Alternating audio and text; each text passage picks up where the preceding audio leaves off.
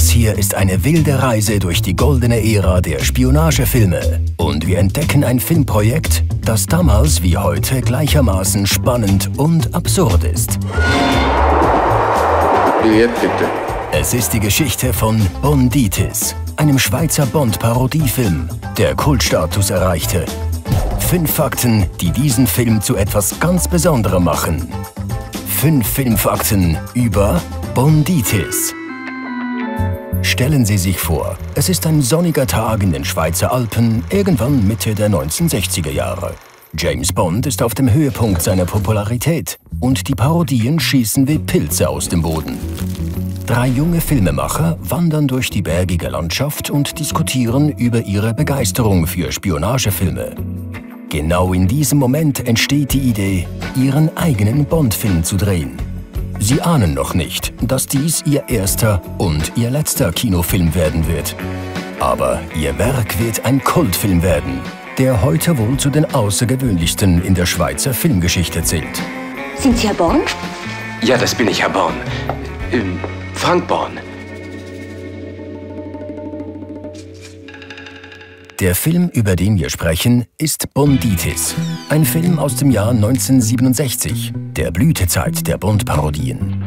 Terence Cooper is James Bond. Barbara Boucher is James Bond. Ursula Andress is James Bond.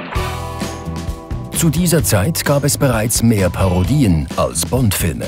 Carry on Spying, Agent 077, L'Homme de Rio, OK Connery und viele, viele mehr. Doch die beste Parodie aus der Zeit kam vielleicht vom Bond-Produzenten Harry Salzman selbst. Die Trilogie mit dem Anti-Bond Harry Palmer, gespielt von Michael Caine. Palmer inspirierte unter anderem die Austin Powers Filme mit dem Highlight, als Caine selbst die direkte Parodie auf Harry Palmer in Goldmember spielte. Austin Powers Vater Nigel Powers. Dad! Hello, son. Die Harry Palmer-Filme zeichnen sich dadurch aus, dass der Hauptcharakter nicht einfach eine Nachahmung von James Bond ist, sondern vielmehr sein Gegenstück. Auch Karl Sutter hat das erkannt. Ein Charakter, der parodiert wird, sollte nicht wie das Original sein, sondern das genaue Gegenteil. Sein Frank Born ist kein Bond. Er ist ein junger Mann, der von lebhaften Träumen geplagt wird, in denen er in actionreiche Scharmützel oder heiße Romanzen gerät. Ich bin ernsthaft krank. Der Psychiater diagnostiziert eine akute Bonditis. Es ist harmloser, als Sie denken. Eine seelische Infektion, ein Virus, wie Grippe oder Schnupfen. und schickt ihn in das ruhige Schweizer Dorf Margogün zur Kur. Doch was beide nicht wissen, in Margogün findet gerade eine geheime internationale Konferenz statt, an der russische, amerikanische und afrikanische Delegationen teilnehmen. Hinter den Kulissen lauern jedoch Spione, Vertreter des russischen Geheimdienstes, der CIA, chinesische Agenten und eine private Spionageorganisation, die als Harfenbande bekannt ist. Als Born auf die amerikanische Agentin Hatazari trifft, die ihn für Agent 006,5 hält, ist das Chaos vorprogrammiert. Bist du nicht 006,5? Nix 00, mein Name ist Frank Born und ich bin auf dem Wege der Besserung. Der Film nimmt den Hype um die James Bond-Filme auf die Schippe und verweist nebenbei auch auf die Ängste der westlichen Gesellschaft vor sowjetischen Spionen und der damals sogenannten gelben Gefahr aus Asien. Exotik wird hier vor allem als humoristisches Element eingesetzt. Während Bond um die ganze Welt reist, ist hier die ganze Welt in einem kleinen Schweizer Dorf von der Größe einer Briefmarke versammelt. Dieser Mikrokosmos namens Margogün hat alles, was man von einem Bond-Film erwartet. Spionage-Action, Konflikte zwischen Geheimdiensten und Schurken, innovative Spionage-Gadgets, exotische Schauplätze, eine ordentliche Portion Erotik und natürlich darf in einem Bond-inspirierten Film das Bond-Girl nicht fehlen. Und ich sage Ihnen, die Bonditis Girls haben es in sich. Unser Held Frank Born, gespielt von Gerd Baltus, erlebt Träume, die nicht von dieser Welt sind. In einem dieser Träume fordert ihn eine verführerische Blondine im Negligé auf, sich aufs Bett zu legen. Geh ins Bett. Solche Momente erinnern an die klassischen Klischees weiblicher Bond-Bösewichte. Denken Sie nur an Xenia Wanatop aus GoldenEye, die ihre Gegner buchstäblich zwischen ihren Beinen zerquetscht. Ja, ja. Das kenne ich. Später begegnet Born einer nackten Frau, gespielt von Christiane Rücker, die in eine Zinkbadewanne in einer Scheune entspannt und ihn einlädt, ihr den Rücken zu schrubben. Komm, wasch mir den Rücken. Eingeführt wird sie als die Blondine. Böses Weibstück. Ein Name, den sie entweder kreativer Faulheit oder einer cleveren Reduzierung des Bond-Girl-Archetyps auf das Wesentliche zu verdanken hat. Christiane Rücker enthüllt fast 50 Jahre später, dass es für sie damals völlig normal war, eine dieser Klischee-Blondinen zu spielen. Christiane Rücker verriet auch, dass Marion Jakob die Freundin von Regisseur Karl Suter war, was ihr wohl die Hauptrolle in Bonditis einbrachte. Jene der eigentlichen Top-Geheimagentin, der CIA-Spionin Hattasari. Schau dort die Bäuerin. Sie kommt mir verdächtig vor. Dabei ist Hattasari eine Anspielung auf die berühmte Tänzerin und Spionin Margretha Gertrudia Zell, besser bekannt als Mata Hari. Interessanterweise gab es in der Bond-Parodie Casino Royale, die ebenfalls 1967 entstanden ist, eine Tänzerin namens Mata Bond, die Tochter von Mata Hari und James Bond. Im Moment vielleicht noch etwas verwirrt. Und damit zurück zu Hattasari. In ihrer ersten Szene wird sie von ihrem Chef in ihre Mission eingewiesen. Das geschieht in der damals alltäglichen sexistisch aufgeladenen Atmosphäre. Ihr Chef spricht mit einer Lüsternheit, die heute unangenehm wirkt. You're quite a girl. I'd love to be your advis. Darüber sollte das Publikum damals lachen. Heutzutage scheint dies eher befremdlich. Als der Gadget-Experte auftaucht, bekommt Hattasari eine Reihe von speziellen Werkzeugen. Ein vergiftetes Parfüm, eine Lippenstiftpistole und sogar Instant Anti-Birth Pills. Eine Referenz an die damalige Diskussion um die Anti-Baby-Pille. Ganz so, als wären all die folgelosen One-Night-Stands des notorischen Beischläfers James Bond auf eine Pille aus dem Agentensortiment des britischen Geheimdienstes zurückzuführen gewesen. Frank Born und Hattasari arbeiten schließlich zusammen und teilen sich ein Zimmer in einem kleinen Hotel. Hattasari scheint sich nicht um Körperreize zu kümmern. Sie behandelt Born einfach wie einen Kollegen. Diese Szene zeigt, wie Hattasari sowohl die Rolle von Bond als auch jene des Bond Girls einnimmt. Oh, Verzeihung. Macht nichts. So hat sie jederzeit die Kontrolle über die Situation und erfüllt dennoch das Klischee des Sexobjekts. Er zieht sich aus. Lass mich, lass mich ran. Ist schon zu spät. Bonditis spielt mit der Dynamik zwischen den Geschlechtern. Denn James Bond war bekannt dafür, dass er mit anderen Agentinnen zum eigenen Amüsement schlief. Dennoch setzte Bond immer auch Sex ein, um von den Frauen geheime Informationen zu erhalten. So auch in Goldfinger, GoldenEye, im Angesicht des Todes, der Spion, der mich liebte, im Geheimdienst ihrer Majestät, von denen zentrale Teile in der Schweiz gedreht wurden. James Bonds Aston Martin rast auf der Straße von der Realp den Furka-Pass hinunter. Er verfolgt Goldfingers goldenen Rolls-Royce mit einem Peilsender. Als er auf die mutige Tilly Masterson trifft, die wiederum ihn in einem weißen Mustang Cabriolet jagt. Ein klassisches Bond-Erlebnis, in dem uns die majestätische Landschaft der Schweiz durch die Augen des ikonischen Geheimagenten gezeigt wird. Wir erinnern uns an GoldenEye, wo sich Bond mit einem atemraubenden Sprung von der Staumauer retten muss. In die Tiefe stürzte er sich allerdings nicht von einer russischen Chemiewaffenfabrik, sondern vom spektakulären Staudamm des Lago di Bogorno im Berjaskatal. Und wer kann die aufregenden Action-Szenen mit dem Pilatus Turboporter vergessen, die im Tallistock in Obergoms und am Eiger südwestlich von Grindelwald gedreht wurden? Eine weitere Bond-Eröffnungsszene, die in der Schweiz gedreht wurde, ist die Ski-Action-Sequenz in Der Spion, der mich liebte. Gedreht bei eisigen minus 35 Grad auf dem Piz Bernina, südlich von St. Moritz. Ähnlich eindrucksvoll ist die Skiverfolgungsjagd in Im Angesicht des Todes, in der Roger Moore den Gletscher Vedretta di Cergen Inferiore am Berniner Gebirgszug hinunterjagt. Nach Goldfinger besucht Bond die Schweiz auch in Im Geheimdienst ihrer Majestät. Wir sehen 007 in einem Rolls-Royce durch Bern fahren. wo er herausfindet, dass Spectre-Bösewicht Blofeld auf dem Beats Gloria im Berner Oberland residiert. Im mittlerweile weltberühmten Drehrestaurant auf der Schildhorn-Gipfelstation.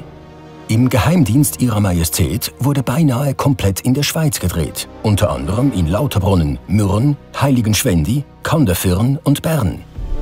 Das Drehrestaurant auf dem Schildhorn und der Heliport wurden zu einem großen Teil durch das Filmprojekt finanziert. Bei der Talstation in Stechelberg wurde für den Film sogar die größte Stockcar-Arena der Schweiz gebaut. Weiterer Fun Fact aus der Geschichte von Bonds Ausflügen in die Schweiz Bernhard Rossi jagte dem Agenten auf seinen Skiern derart verbissen nach, dass er dabei auf die Straße stürzte und sich einen Halswirbel und die Hand brach.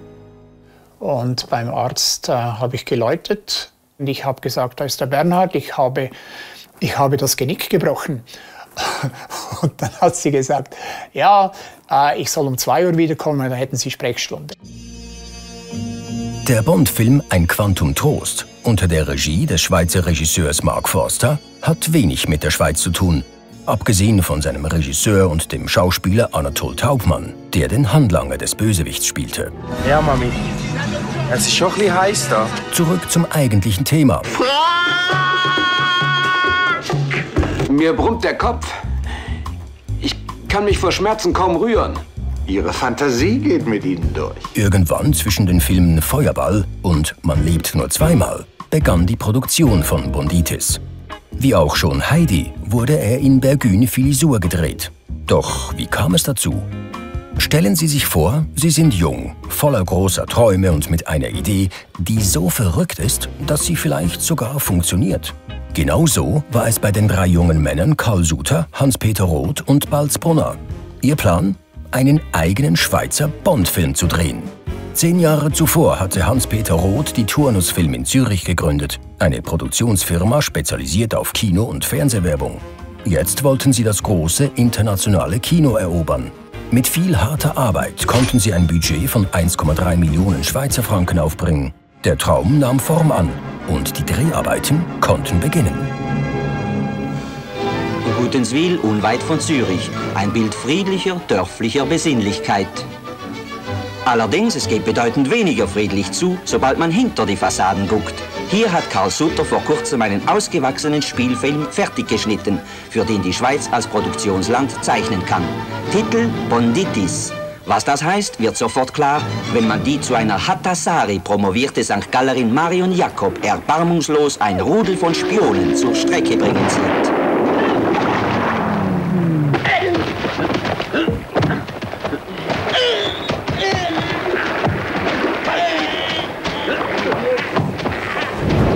Suter war das Multitalent des Teams. Er schrieb das Drehbuch, führte Regie und schnitt den Film. Zuvor hatte er bereits bei den erfolgreichen Komödien Der Mustergatte, Der Herr mit der schwarzen Melone und Chiquita Regie geführt und die Vorlagen zu den sehr populären Schweizer Musical wie Bibi Baloo und Golden Girl geschrieben. Roth, der Produzent und Kameramann, drehte Bonditis in Techniscope und Technicolor, eine der brillantesten Farbfilme der damaligen Zeit. Sein Auge für gute Bilder hatte er damals in den USA als Standbildfotograf für den legendären Cecil B. DeMille trainieren können. Und mit einem Empfehlungsschreiben von mir könnten Sie bei der Harfe unterkommen. Oder wollen Sie lieber zu den Russen? Die Dreharbeiten fanden im malerischen Dorf Bergün in der Schweiz statt, das für den fiktiven Ferienort Margogün herhielt. Die Crew bezog ein seit 50 Jahren leerstehendes Hotel und verwandelte es in ein Studio. Die Statistenschar war eine bunte Mischung aus afrikanischen Medizinstudenten, die in Europa studierten, und chinesische Amateure, die man angeblich in einem chinesischen Restaurant in Soho rekrutiert hatte.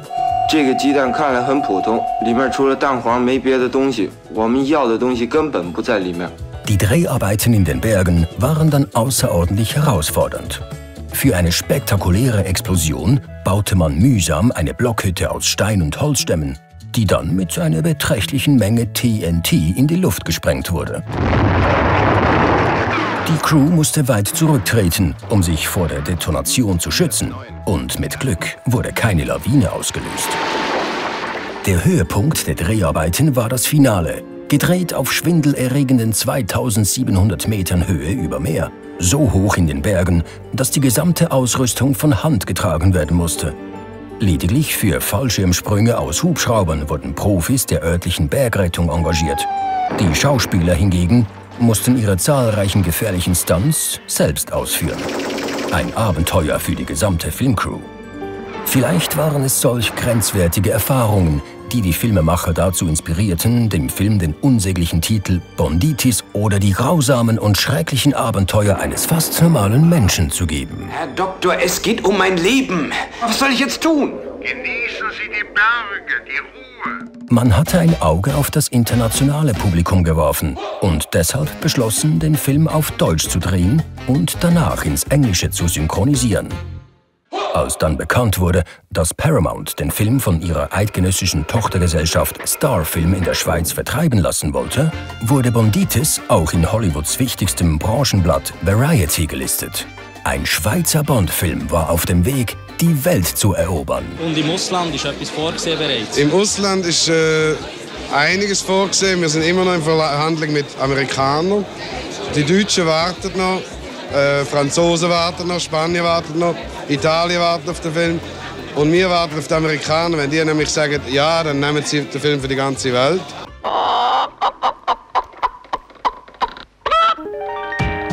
Schließlich aber war es nicht Paramount, sondern die britische Compton International, die sich die weltweiten Vertriebsrechte sicherte. Compton International, eine der erfolgreichsten unabhängigen britischen Filmgesellschaften der 1960er Jahre, begann seine Reise in der Filmbranche mit billigen Nacktfilmen, bevor es zu einem vollwertigen Filmstudio mit einer eigenen Kinokette wurde. Die Gründer Michael Klinger und Tony Tenser hatten ein gutes Gespür für Erfolg und erwarben dann im Laufe der Jahre die weltweiten Rechte an zahlreichen größeren Filmen. Warum sich Compton für Bonditis interessierte, ist klar. Die einzigartige Mischung aus Komödie, Action und Erotik passte hervorragend in ihr Portfolio. Seltsamerweise beschloss Compton, den Schweizer Film weltweit zu vertreiben, bloß nicht im Vereinigten Königreich. Möglich, dass sie fürchteten, mit dem seltsamen Humor und den vielen sexuellen Anspielungen beim britischen Publikum anzuecken. Oder dass sie Probleme mit den strengen Zensurbeschränkungen der BBFC kriegen könnten. Trotzdem fuhr Compton ein großes Marketingprogramm auf und präsentierte Bonditis 1968 beim Filmfestival in Cannes mit der kühnen Ankündigung, es sei die größte, lustigste, bunteste, schrillste, actionreichste, sexieste Filmkomödie aller Zeiten. Compton unterließ nichts, um Bonditis pompös zu promoten. Sie produzierten glänzende Werbematerialien, von stilvollen Lobbykarten bis hin zu farbenfrohen Pressebüchern. Das Filmplakat gilt heute als ein Klassiker des 1960er Jahre Posterdesigns. Woher dieser Optimismus? Könnte es am Erfolg des Films in der Schweiz liegen? Die Erwartungshaltung war im Inland so groß gewesen, dass die Bond-Parodie als das Echo von Margot Gün bereits herumgeisterte, bevor der Film überhaupt in die Kinos gekommen war. Bereits die ersten Vorführungen befeuerten den Hype. Im September 1967 erreichte Bonditis in Zürich den höchsten Zuschauerdurchschnitt an Wochentagen. Im Kino Alhambra in Bern brach er in der ersten Woche Rekorde. Die Leute standen Schlange, um den Film zu sehen. Auch die Kritiker waren beeindruckt. Die Nationalzeitung Basel beobachtete den tosenden Applaus des Publikums und schrieb, der Film sei inhaltlich, technisch hochstehend und höchst unterhaltsam.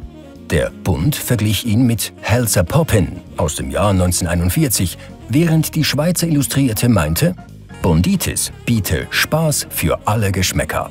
Gefallen hat mir vor allem, dass in der Schweiz mal so ein Film gemacht werden Um der einheimischen Lederhosentradition gerecht zu werden, wurde für das österreichische Publikum ein alternativer Titel geschaffen: Küsse und Schüsse am Heuboden wobei man Bonditis im Untertitel als Dirndl-Sexkomödie bewarb. Der Heimatfilm für starke Nerven. Ah, da ist es ja. Unser liebes kleines Osterei. Du machst mich wahnsinnig.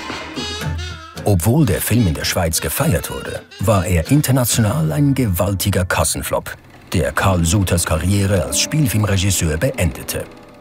Turnus Film kehrte zur Produktion von Werbespots zurück und die meisten der Beteiligten, darunter auch viele der Darsteller, arbeiteten nie wieder im Filmgeschäft. Der Schweizer Schauspielveteran Zarli Karicet gab in einer kleinen Rolle seine Abschiedsvorstellung und Marion Jakob verschwand nach einem weiteren Fernsehfilm ganz von der Bildfläche. Nur Gerd Baltus schaffte den Sprung und wurde ein beliebter Schauspieler im deutschen Fernsehen. Als der Film seine einzige US-Kritik erhielt, war Variety in ihrer Rezension ziemlich zurückhaltend und schrieb, das Beste an diesem Film ist seine technische Seite. Er profitiert von einer attraktiven Technicolor- und Techniscope-Kameraarbeit. Die Filmmusik ist recht eingängig und die schauspielerischen Leistungen sind im Allgemeinen in Ordnung.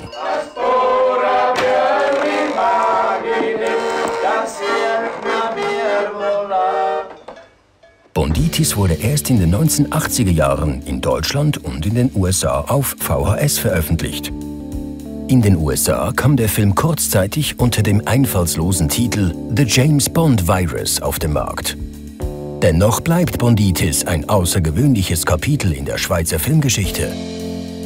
Der Film erinnert daran, dass Filmemacher manchmal Risiken eingehen, um etwas Einzigartiges zu schaffen und selbst im Scheitern einen bleibenden Eindruck hinterlassen.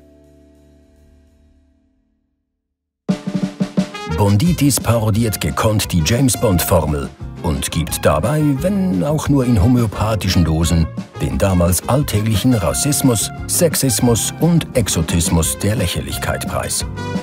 Und wer genau hinsieht, findet sich in einem interessanten Erkundungstrip durch Sexualmoral und Sexualpolitik der 1960er Jahre wieder, den damals das Publikum nicht nur zum Lachen, sondern vielleicht auch zum Nachdenken brachte. Was bleibt, ist etwas, das man aus der Schweiz kaum kennt. Ein Kultfilm. Wenn Ihnen dieses Video gefallen hat, Daumen nach oben. Abonnieren Sie unseren Kanal und aktivieren Sie die Glocke, damit Sie über neue Videos benachrichtigt werden. Schweizer Filme neu entdecken auf filmo.ch